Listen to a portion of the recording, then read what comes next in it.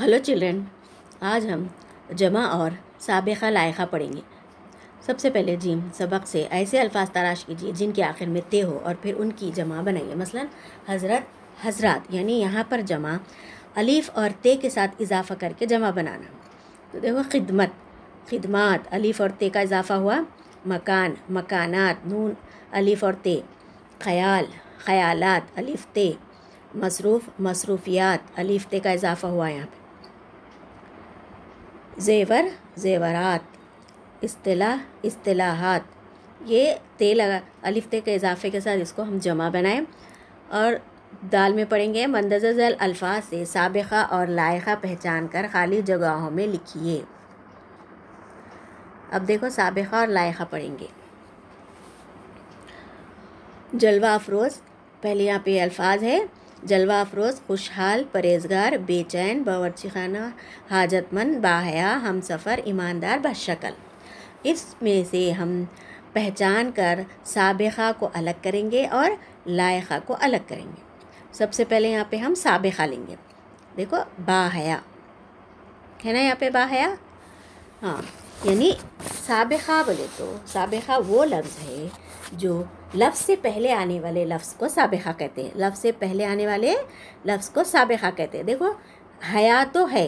हया से पहले जो लफ्ज़ आ रहा, बा, वो ऐसे लफ्ज़ को लायका कहते हैं। यहाँ पे है ना, बा हया, हम सफ़र, बद शक्ल, बेचैन, खुशहाल, है ना?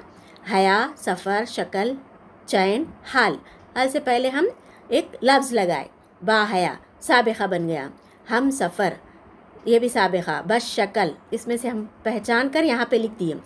बेचैन, खुशहाल, ये सबक़ा हुआ। अब देखो, लायका लायका भी वैसे ही है।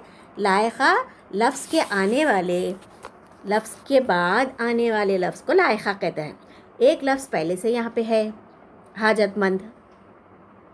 हाजत उसके बाद हम क्या लगा रहे हैं? मंद, यानी हाजतमंद, ज़रूरतमंद। ये हुआ लायका, यानी जलवा, अफरोज़, जलवा। पहले पहले है, अफरोज़ हम इसको बाद में लगाए। तो ये क्या हुआ? लायका हुआ।